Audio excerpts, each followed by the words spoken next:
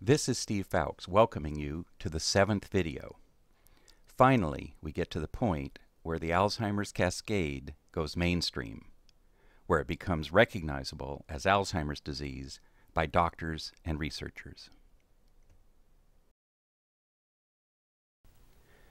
Microtubules are assembled from alpha and beta tubulin proteins using GTP as the energy source.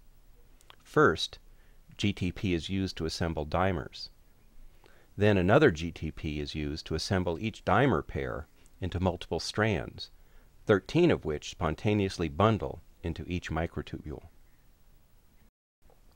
Microtubules serve as a transportation network, just like a highway system where semi-tractor trailers haul groceries from a central warehouse to local supermarkets. Microtubules are polarized, meaning that they have direction and always point from the nucleus of the neuron down the axons and dendrites to the nerve termini, in other words, from the central warehouse to the neighborhood stores. There are two kinds of semi-tractor trailers. The kinesin motor proteins attach to the microtubule facing forward and moves outbound material from the nucleus to the terminus. The dynein motor protein attaches backwards and moves other materials inward bound towards the nucleus. Beta tubulin contains multiple sulfhydryl groups, two of which are immediately adjacent to the active site for GTP binding. In the presence of mercury, GTP binding is inhibited and microtubule assembly is prevented. This toxic effect of mercury also disassembles assembled microtubules into tubulin pieces. Beta tubulin binding is known to be inhibited in Alzheimer's disease. GTP binding by beta tubulin is also known to be inhibited by root canal teeth. This not well known finding suggests that a comprehensive dental evaluation by a practitioner armed with a beta tubulin sensitive assay should become a high priority part of an overall clinical evaluation for Alzheimer's disease.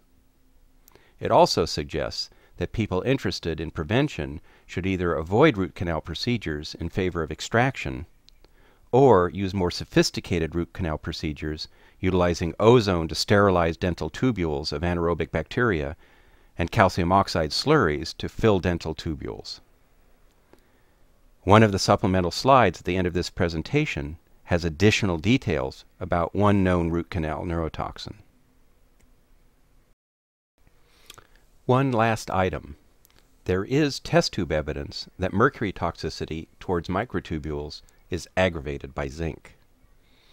The clinical import of this finding is not clear, but additional details of this finding are presented in one of the supplemental slides at the end of this presentation. There are other Alzheimer's disease related phenomena that relate to mercury toxicity that we have yet to discuss. This will begin with tau protein.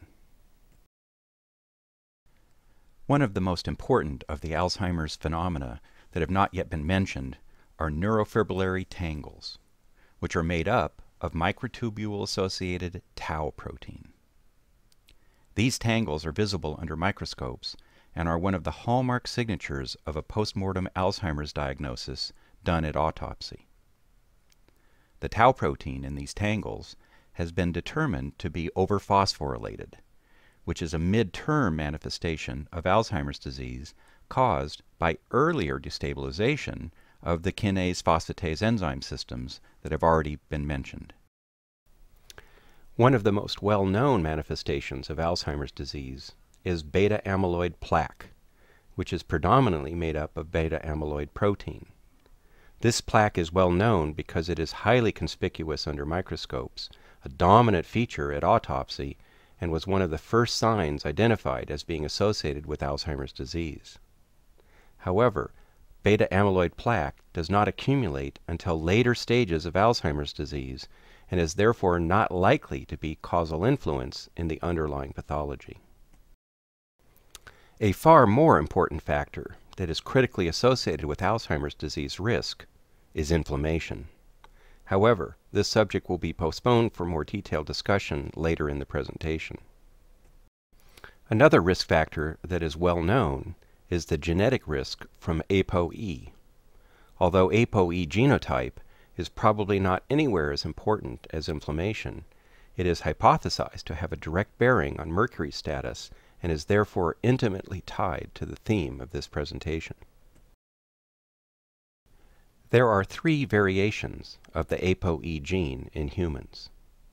We get one ApoE gene from each parent, so we each carry two ApoE genes. ApoE3 is by far the most common form, and roughly 90% of the population carries one copy of the ApoE3 gene, and roughly 60% carries two ApoE3 genes. There are two less common variant ApoE genes, ApoE2, which is protective regarding Alzheimer's risk, and ApoE4, which increases risk. So, on the chart of all possible combinations of these genes from your mother and father, having two of the high risk genes has the earliest onset. Having only one of the high risk genes is the next earlier onset. Having two medium risk genes, or one high risk and one protective gene, gives even later onset and having one protective and no high risk gene provides the latest age of onset. Having two protective genes would presumably be even later onset, but that is so rare that there is no statistical evidence to prove it yet. Regardless, the risk is oriented diagonally across the chart. The ApoE genes code for a protein, which is made up of a chain of amino acids. When the amino acid sequences of these proteins are compared, all but two of the amino acids are identical. The two that are different lie at positions 112 and 158 on the chain. The protective protein has two cysteines at these positions. The most common ApoE protein has one cysteine and one arginine, and the high risk protein has two arginines at these positions. The amino acid cysteine contains a sulfhydryl group just like glutathione. Is it possible that these cysteine residues could bind to mercury and decrease the brain's mercury burden? The correlation seems too perfect for this not to be the case. The arrows for cysteine and the Alzheimer's risk are exactly identical. Now let's return to a more detailed discussion of inflammation. This concludes the genetic discussion. Now is the time to advance to Part 8.